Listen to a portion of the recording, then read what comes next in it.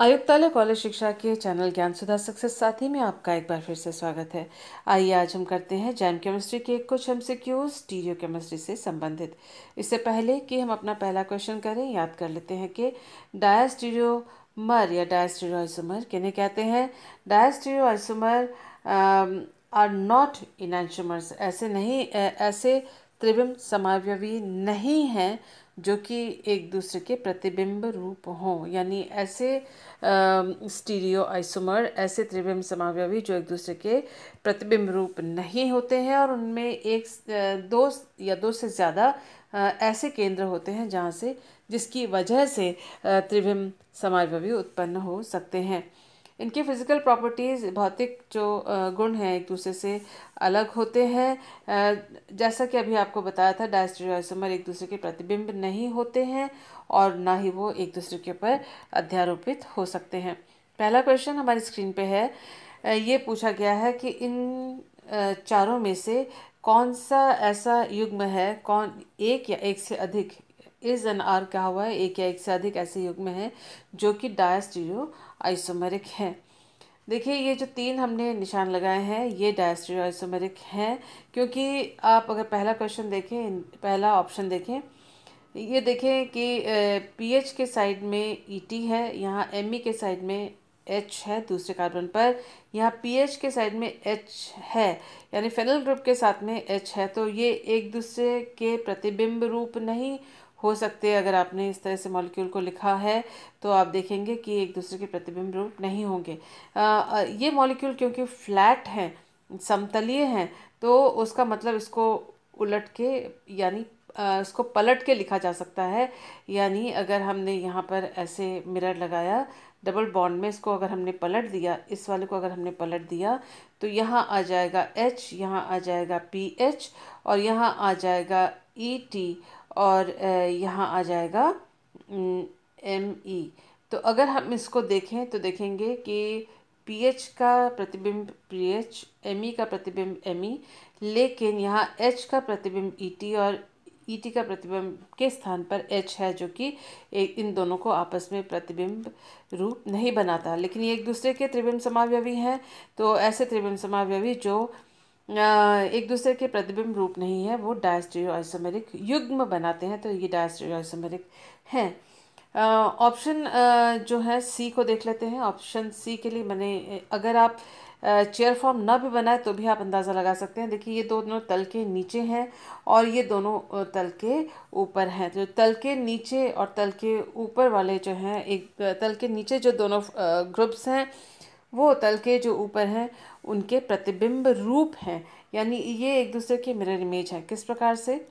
वो हम यहाँ पर देख लेंगे। लेकिन क्योंकि एक दूसरे के ये प्रतिबिंब रूप हैं इसको अगर लेकर इसके ऊपर रखा, रख दिया जाए तो तल के नीचे ओच तो प्रतिबिंब तल के ऊपर तल के नीचे या प्लेन के नीचे below the plane B R तो अबव द प्लेन यानी प्लेन के ऊपर बी आर यहाँ पर है तो वो एक दूसरे की मिरर इमेज हैं, प्रतिबिंब रूप हैं, इसलिए ये एक दूसरे के इनेंशियोमर हैं ना कि डायस्ट्रियोमर तो ये हमने डायस्ट्रियोमर पूछा गया है तो ये हमारा आंसर नहीं होगा। इस क्वेश्चन को हम इस तरह से भी देख सकते हैं, देखिए। कि हमने यहाँ पर ओ OH देखते हैं तो ओ OH अगर हमने नीचे बनाया बी आर भी नीचे है, यानी यहाँ पर दोनों निकटवर्ती हैं नेबरिंग हैं, इसलिए एक अगर इक्वेटोरियल है तो दूसरा हो जाएगा एक्सियल और अगर हम इसको मिरर इमेज इसका या ये वाला फॉर्म इसका बनाते हैं तो देखिए, ये इक्वेटोरियल है तो इसलिए यहाँ पर भी इक्वेटोरियल ओ एच यहाँ लिखेंगे और यहाँ लिखेंगे इसके साथ वाले में बी आर और अगर आपने यहाँ पर मिरर रखा और फिर इसको उठाकर यहाँ लेकर आए तो आप देखेंगे कि ये दोनों एक दूसरे के मिरर इमेज हैं। यूँ भी आप देख सकते हैं कि ये इक्वेटोरियल ऊपर तो ये इक्वेटोरियल नीचे, ये एक्सियल नीचे तो ये एक्सियल ऊपर। इसके अलावा ये कोना जो है ऊपर की तरफ़ है तो ये कोना नीचे की तरफ़ है, ये कोना नीचे की तरफ़ है तो ये ऊपर की तरफ़ है। So these are mirror images एक दूसरे के प्रतिबिंब रूप हैं, ये एक दूसरे के इनशोमर हैं, प्रतिबिंब रूप है, न कि डायस्ट्रीडोसोमर इसलिए जो ऑप्शन सी है, हमारा आंसर नहीं होगा। बी को देख लेते हैं। बी में भी हम इस तरह से, इस प्रकार से करके देख सकते हैं, आप चाहें तो। या फिर आपको, आप डायरेक्टली भी इसको देख सकते हैं कि अगर ये साइक्लोहेक्सेन रिंग है तो ये बिलो द प्लेन तल के नीचे तो इसकी, ये अबव द प्लेन ये दोनों एक दूसरे के मिरर सिचुएशन में है। लेकिन ये अबव द प्लेन तल के ऊपर तो ये भी तल के ऊपर है। यानी ये प्रतिबिंब वाले सिचुएशन में नहीं है मिरर इमेज सिचुएशन में नहीं है। और यहाँ देखिए ये नीचे है और ये भी नीचे है, तल के नीचे है। तो उसका मतलब आप देख सकते हैं कि सिर्फ़ ब्रोमो जो ग्रुप है, वो एक दूसरे के प्रतिबिंब रूप, प्रतिबिंब वाले सिचुएशन या स्ट्रक्चर उसका उस तरह से है पोजीशन लेकिन M E above the plane तल से ऊपर, ये भी तल से ऊपर, ये तल के नीचे, ये भी तल के नीचे। यानी इन दोनों की वजह से इन दोनों के तल के ऊपर नीचे, इसमें इसके प्रतिबिंब रूप नहीं होने की वजह से ये दोनों एक दूसरे के प्रतिबिंब रूप नहीं हैं। आप इसको यूँ भी बना के देख सकते हैं। देखिए, ये बी आर उसके बाद एम ई और उसके बाद ये जो है बी यू यहाँ पर इसके लिए देख सकते हैं कि अबव द प्लेन अगर है तो ये मान लीजिए बी आर ये अबव द प्लेन है तो ये एक्सियल हो जाएगा एम ई e, ये बिलो द प्लेन है तो ये भी एक्सियल हो जाएगा बी यू तो यहाँ देखिए सिर्फ़ ये जो है इक्वेटोरियल और इक्वेटोरियल अबव और बिलो प्लेन है ये अप और ये डाउन है तो इसलिए मिरर सिचुएशन में है, लेकिन ये इक्वेटोरियल है, ये एक्सियल है, ये भी इक्वेटोरियल है और ये एक्सियल है। तो इसलिए ये दोनों एक दूसरे के मिरर इमेजेस नहीं हैं, ये डायस्टीरो आइसोमेरिक हैं। इतना अगर आपने समझ लिया है तो चौथे जो ऑप्शन है उसको देख लेते हैं। इन दोनों मॉलिक्यूल्स का अगर हम देखें तो ये ये वाला हिस्सा, ये वाला हिस्सा, ये हिस्सा ये हिस्सा बाकी सारा रिंग एक दूसरे के समान है, लेकिन यहाँ पर ये देखिए इक्वेटोरियल है, ये एक्सियल है, और यहाँ इक्वेटोरियल है तो यहाँ पर भी इक्वेटोरियल है। ये एक दूसरे के त्रिविम समावयवी, यानी स्टीरियो आइसोमर तो हैं, लेकिन ना तो एक दूसरे के मिरर इमेज है, लेकिन फिर भी स्टीरियो आइसोमर है। यहाँ इक्वेटोरियल और ये एक्सियल है, बाकी सारा मॉलिक्यूल सेम टू सेम है। इसलिए इसकी स्पेस में अलग पोजीशन होने की वजह से, साथ ही इन दोनों के एक दूसरे के मिरर इमेज नहीं होने की वजह से, ये है डायस्टीरियो आइसोमेरिक पेयर तो हमारा इस क्वेश्चन का आंसर जो है, वो है A A B A B और डी और सी इसका आंसर नहीं है. In the structure of P four O ten the number of P O P bonds is तो बॉन्ड या बॉन्ड्स यानी अगर पी ओ पी बॉन्ड एक ही है तो फिर उसकी एक लिखा जाएगा. और अगर एक से ज़्यादा है तो वो नंबर लिखा जाएगा. ये है टेट्राफॉस्फोरस डेकॉक्साइड टेट्रा फॉस्फोरस डेकॉक्साइड है और इसका स्ट्रक्चर इस प्रकार से है। और इस, इसका आंसर है सिक्स देखिए पीओपी बॉन्ड्स हम देख लेते हैं। पीओपी पीओपी पीओपी ये तीन। उसके बाद पीओपी पीओपी एंड पीओपी तो ये है छः तीन और तीन छः टोटल सिक्स इसमें पीओपी बॉन्ड्स हैं तो इसका आंसर है सिक्स और इस तरह के क्वेश्चन अक्सर पूछे जाते हैं आजकल। Next question is the number of vertices in icosahedral closoborane तो आइकोसाहेड्रल क्लोजोबोरेन के बारे में कई क्वेश्चंस पूछे जाते हैं। आइकोसाहेड्रल क्लोजोबोरेन का फॉर्मूला है बी ट्वेल्व एच ट्वेल्व और ये क्लोजोबोरेन uh, है इसलिए इसलिए B N H N sorry H N के फॉर्मूले को ये फॉलो करता है और क्योंकि टू माइनस है तो total number of electrons skeleton में कितने हैं? Twelve into two twelve into two plus two इसलिए है क्योंकि यहाँ पर दो इलेक्ट्रॉन्स और एक्स्ट्रा हैं। तो टोटल इलेक्ट्रॉन्स जो हैं ट्वेंटी सिक्स यानी छब्बीस हैं। और वर्टिसेस कैसे निकालते हैं? Number of electrons divided by two minus one तो नंबर ऑफ़ इलेक्ट्रॉन्स है ट्वेंटी सिक्स जो कि यहाँ लिखा हुआ twenty six divided by two यानी दो से भाग दिया। जो नंबर आया वो है तेरह।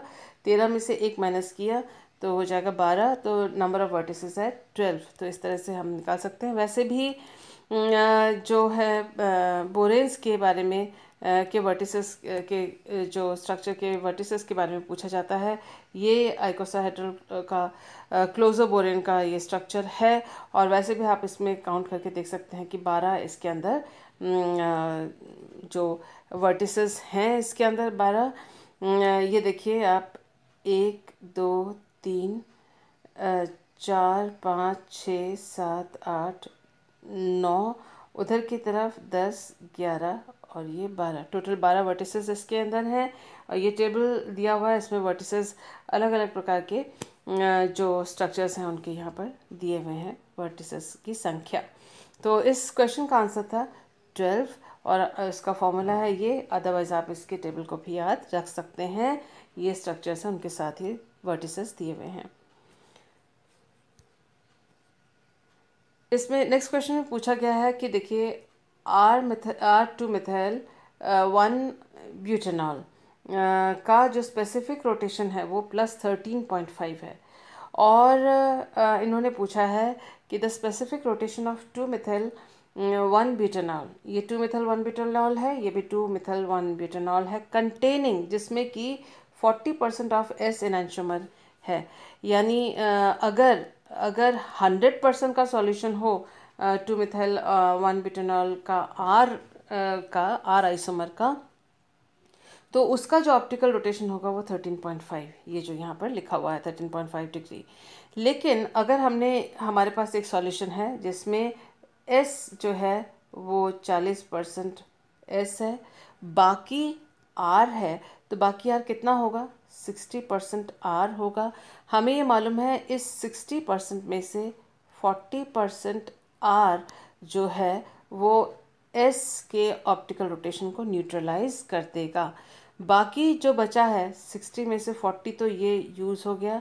बाकी बचा ट्वेंटी परसेंट आर तो इस पूरे सॉल्यूशन में जो इसका ऑप्टिकल रोटेशन होगा, वो सिर्फ़ जो बचा हुआ ट्वेंटी परसेंट आर है, उसकी वजह से इसका ऑप्टिकल रोटेशन होगा। क्योंकि फोर्टी परसेंट एस और फोर्टी परसेंट आर तो एक दूसरे को फोर्टी परसेंट एस और फोर्टी परसेंट आर एक दूसरे को के रोटेशन को कैंसिल आउट कर देंगे। अब हमें निकालना है कि हंड्रेड परसेंट सॉल्यूशन था तो plus thirteen point five rotation था। एक परसेंट सॉल्यूशन का रोटेशन होगा thirteen point five divided by hundred और ट्वेंटी ट्वेंटी परसेंट सॉल्यूशन अगर uh, बचा हुआ है आर का तो ऐसे में uh, जो यहाँ आया है उसको मल्टीप्लाइड बाई ट्वेंटी कर देंगे तो टू पॉइंट सेवन प्लस में आंसर आएगा और इसका आंसर है, इसका आंसर है two, plus two point seven और इस तरह से हमने इसको निकाला है। नेक्स्ट क्वेश्चन है, the number of gauche butane interactions in the following compound तो ये कंपाउंड हमको दिया हुआ है, पूछा है कितने गॉशे इंटरेक्शंस इसके अंदर है गॉशे ब्यूटेन इंटरेक्शंस है। देखिए, ये ब्यूटेन है, एक कार्बन, दो कार्बन और ये वाला तीसरा कार्बन और ये इसका चौथा कार्बन। तो चार कार्बन ये आ, का ये स्ट्रक्चर है चेन है और ये ब्यूटेन का फार्मूला है जिसमें ये एंटी कॉन्फॉर्मेशंस हैं। ये इसके न्यूमैन प्रोजेक्शन फार्मूला है दिया हुआ है और गौशी इंटरेक्शन कब होता है? देखिए जब ये दोनों एक कार्बन ये है और दूसरा कार्बन ये वन एंड ये दोनों कार्बन पे जो ग्रुप्स लगे हुए हैं उनके ऊपर मतलब इसको अगर नंबर वन दिया इसको टू दिया इस बड़े गोले को थ्री दिया, ये फोर दिया। टू और थ्री से बंधे हुए वन और फोर जो कार्बन है, उन, ये, जैसे, अगर हमने इसको ब्यूटेन माना है तो मान लीजिए ब्यूटेन है, इस वाले स्ट्रक्चर्स को छोड़ देते हैं। तो एक, दो, तीन और चार। तो दो और तीन के बॉन्ड में जो वन एंड फोर हैं, वो अगर सिक्सटी डिग्री पे हों, अगर इनकी सीध से देखा जाए तो इस बॉन्ड की सीध से अगर हम इसको देखें इस तरह से तो इन दोनों के बीच में 60 डिग्री का कोण बनता है और ऐसे इंटरेक्शन को हम गौशे इंटरेक्शन कहते हैं। तो पूछा गया है कि इस कंपाउंड में कितने गौशे इंटरेक्शंस हैं तो हम देख लेते हैं। देखिए इस बॉन्ड को दिखा हमने, यहाँ पर एक हाइड्रोजन है, यहाँ पर एक हाइड्रोजन है, तब जाके ये चार की वैलेंसी पूरी हो रही है, इसकी चार की वैलेंसी इस हाइड्रोजन को लगाने से पूरी हो रही है। अब 60 डिग्री पर दो अलग अलग कार्बन पर जो ग्रुप्स हैं एक इस कार्बन पे और इस कार्बन पे। इस कार्बन पे ये है और पीछे वाले कार्बन पे ये है। इन दोनों के बीच में 60 का अगर कोण बनता है तलों का तो कौन कौन से हैं? एक तो ये है, देखिए ये और ये सिक्सटी पे बनते हैं दूसरा, इस कार्बन का ये और इस कार्बन का ये वाला बॉन्ड आपस में सिक्सटी का डिग्री बनाता है। और तीसरा, ये वाला बॉन्ड इस वाले बॉन्ड के साथ भी सिक्सटी का कोण बनाता है। तो इसमें तीन तरह के गौशी इंटरेक्शंस हैं। द आंसर इज़ थ्री इसका आंसर लिखा नहीं हुआ है, मैंने मैंने, लेकिन you can write answer is three और ये तीनों गौश इंटरेक्शंस यहाँ पर दिखाए हुए हैं। Thank you for being with me